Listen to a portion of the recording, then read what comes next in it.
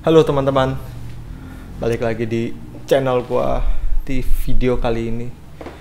Gua akan eh, ngasih tips-tips ya. Jadi gua sharing-sharing tips buat teman-teman yang lagi pengen beli gitar second dan pengen tahu cara ngecek eh, kesehatan itu gitar atau gitar ini masih bagus atau enggak kondisinya? Soalnya banyak banget nih teman-teman yang takut beli gitar second takutnya gitarnya kondisinya nggak bener atau gimana gimana. Dan banyak juga banyak banget pertanyaan kayak gini. Ini menurut gue pertanyaan agak konyol sih gitu. Eh, orang beli gitar second bilang bang hmm, gitarnya udah berapa lama dipakai? Ini pertanyaan yang gua sebenarnya gua agak agak agak gimana gitu. Bang udah berapa lama gitar dipakai? Sebenarnya bukan berapa lama gitar itu dipakai tapi kondisinya terawat atau enggak gitu. Percuma lo pakai gitar dua hari tapi pas gua pakai gitar gua geletakin eh, setupnya nggak bener eh, cara nyimpannya nggak bener naiknya bengkok atau gitarnya. Kali main jadi gue banting. Itu itu sebenarnya pertanyaan yang eh enggak. Enggak. Enggak mewakili kondisi gitar gitu. Seharusnya bang gitarnya aman nggak? Sehat nggak? Itu yang paling penting itu. Lu mau pakai git mau gitar itu posisi ada 10 tahun di lu lu jarang mainin tapi lo rawat lo lap terus itu akan lebih bagus daripada gitar yang umurnya baru sebulan dua bulan tapi mainnya berantakan seminggu dua minggu tapi berantakan. Jadi kayak gitu. Dan ini adalah tips cara memilih atau beli gitar second. Atau pas lo misalnya beli gitar secondnya lo COD ke tempatnya hal apa aja sih yang lo cek di gitar-gitar itu ya? Oke kita bahas ya. Kita eh, kupas tuntas semuanya. Oke? Yang pertama kali harus lo cek adalah saat lo beli gitar second atau bekas. Eh, serial number jadi gitar original itu harus ada serial numbernya.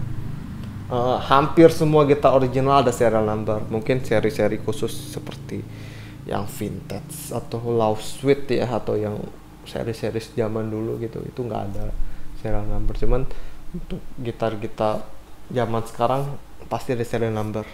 Jadi yang harus lo cek serial numbernya, lo bisa search serial numbernya di Guitar Dead Projects atau misalnya lo beli vendor lo bisa langsung di eh apa? Ada apa aja yang lewat? Oke misalnya lo beli vendor lo bisa cek di situs resminya vendor jadi ada di belakangnya biasanya serial number atau di bagian mananya. Pertama yang lo cek itu dulu untuk membuktikan keoriginalitasan gitarnya oke? Terus Kedua yang harus lo cek itu truss root-nya. Truss root itu apa sih, Bang? Truss root adalah yang untuk yang besi di dalam neck. Jadi neck gitar itu di dalam neck gitar itu ada semacam besi besi panjang gitu. Dan dia ada pemutarnya nih. Biasa kalau gitar ada di ujung sini atau ada di belakang sini nih. Jadi yang harus lo cek per, kedua itu trust root itu nggak kalah penting Ma, mungkin menurut gua elemen elemen gitar yang penting banget trust root karena trust root itu yang akan menentukan kelurusan neck lo atau lempeng enggaknya necknya itu di trust root gitu.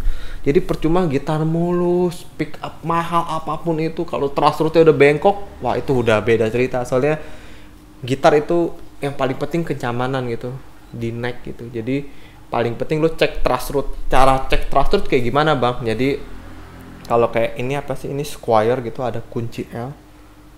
Caranya cek trust rootnya bagus atau enggak atau keadaan trust rootnya sehat atau enggak kunci L lo masukin. Jadi misalnya square ada yang kunci L yang gede atau Fender kunci L yang kecil ntar lo minta aja kunci L di gitarnya itu. Lo tinggal masukin lo puter kiri kanan. Kalau puter kiri kanan udah oke okay nih lo puternya nggak ada masalah nggak keras atau nggak apa itu oke. Okay. jadi lu coba putar di kanan beberapa kali terus lu balikin ke kiri beberapa kali. Gitu aja oke. Nomor dua itu trust root terus setelah trust root itu fret. Fret gitarnya itu boncel boncel ya kalau second wajar boncel cuman uh, boncel boncel tahap wajarnya gitu. Misalnya kalau boncel apalagi kalau kayak buzzing buzzing gitu nah itu udah nggak wajar. Kalau boncel oke okay lah untuk second. Kita kesampingkan oke okay lah untuk second. Second kadang boncel ya wajar namanya second. Tapi kalau buzzing buzzing nah itu yang mesti diperhatiin. Soalnya refret itu lumayan harganya. Kalau lo beli gitar second lo refret lagi dan pasti dan pastikan kalau emang lo nggak masalah lo udah terlalu suka gitarnya dan langka atau dan lo harus refresh ya udah pastikan di refresh di tempat-tempat yang hmm, terpercaya. Soalnya bagian paling penting makanya apa yang lo cek pertama pasti gue langsung masukin ke necknya dulu. Semua di bidang neck itu kelurusan neck root dan fret. Soalnya gitar yang bikin oke okay ya di pegangannya gitu oke. Okay. jadi kalau fretnya bermasalah ya kalau lo emang terlanjur suka refresh di tempat yang profesional dan bagus. Soalnya kalau enggak malah tambah berantakan. Uh, ini mempengaruhi banget. Soalnya neck truss root dan fret itu mempengaruhi banget uh, playability dari gitar. Oke? Okay? lo udah cek truss root fret serial number udah cek dan yang berikutnya lo cek pick upnya berfungsi dengan baik atau enggak jadi lo harus tahu settingan pick up juga. Hmm, jadi kadang ada penjual-penjual yang agak-agak bandel gitu. Dia suka uh, ganti ganti pick up. Misalnya lo beli gitar Fender pick upnya itu pick up murah atau gimana yang pasti setidaknya lo ngomong sama penjualnya ini ori apa enggak? Kalau enggak ngomong aja. Kalau emang keberat kalau nggak keberatan boleh dibuka. Kita cek pickupnya masih bawaan apa enggak dan elektronik semuanya.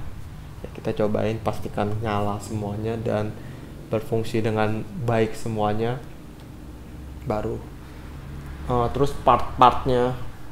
Paling enggak sih kita harus komunikasi ke pedagangnya atau yang jual bilang ini masih ori apa enggak kalau enggak udah diganti kita yang penting tahu oh ini udah bekas ganti dan gantinya itu dengan part yang bagus atau part yang jelek atau downgrade. Udah udah di upgrade apa di downgrade kalau di upgrade untuk beberapa uh, beberapa hal kalau upgrade itu kalau untuk orang yang player player series ya itu it's okay gitu. Karena upgrade akan bakal lebih enak. Tapi untuk kolektor kayak untuk kolektor kolektor biasa pengennya bawanya original semua nggak mau di upgrade gitu. Soalnya dia pengen ya namanya kolektor pengen gitar yang full original. Tapi kalau buat kita player player ya it's okay. Kalau upgrade ya kalau downgrade ya pastikan kasih tahu gitu setidaknya kasih tahu.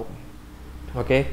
dan yang terakhir yang nggak kalah penting dari semuanya itu adalah pastikan beli gitar apalagi gitar second ya ke toko gitar yang toko gitar terpercaya.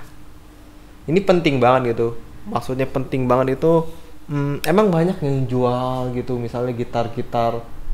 Harganya mungkin lebih murah daripada toko-toko gitar apalagi di zaman online sekarang semua harga transparan semua gitu. Ada emang beberapa yang jual lebih murah lebih murah gitu. Cuma kalau kita beli di toko gitar terpercaya gitar ini ada masalah kita bisa klaim gitu. Maksudnya oh mas ini ternyata ininya ini ini. Dan dia akan mempertahankan reputasi dia dong. Soalnya dia emang toko gitar yang terpercaya kan. Ya pasti dia akan uh, nge setidaknya mempertanggungjawabkan. Misalnya kalau ternyata lo udah cek cek cek semuanya ternyata ada sesuatu yang nggak pantas di gitarnya atau emang ternyata gitarnya bermasalah nah lo bisa tuker atau minta pertanggungjawaban atau gimana.